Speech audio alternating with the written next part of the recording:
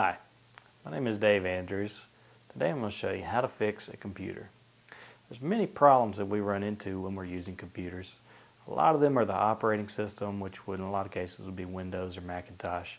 Many of them are the programs that run on top of the operating system. This is where you'll get a lot of the error messages, crashing programs, and things like that. What you need to do to fix your PC is first analyze what's going on with it. Uh, is it hardware? Will the computer boot up? Uh, is your screen going blank? Is the, are the fans blowing real hard, making a lot of noise? Or is it software?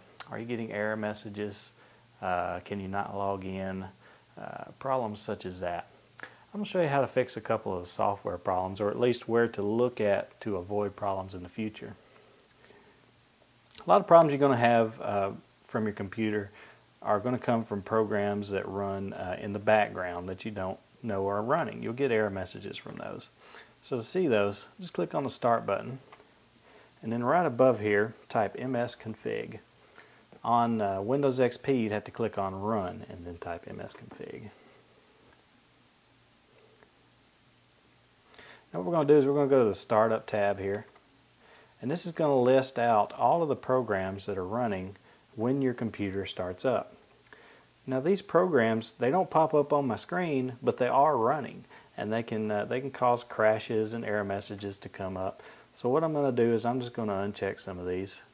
You know, I don't really need them. And then I'm going to click Apply. Another thing you can do to troubleshoot your computer is to see what actually is running. Let's right click somewhere on the Task Manager or on the taskbar and then click on Task Manager. This brings up a list of all the programs that are running. If your computer is running extremely slow, sort it by the CPU. And you can see what tasks are using your processor and you can see here the percentage of the CPU that you're using. If one of them is using 100% all the time, that's what's hammering down your computer and you would select it and hit end process.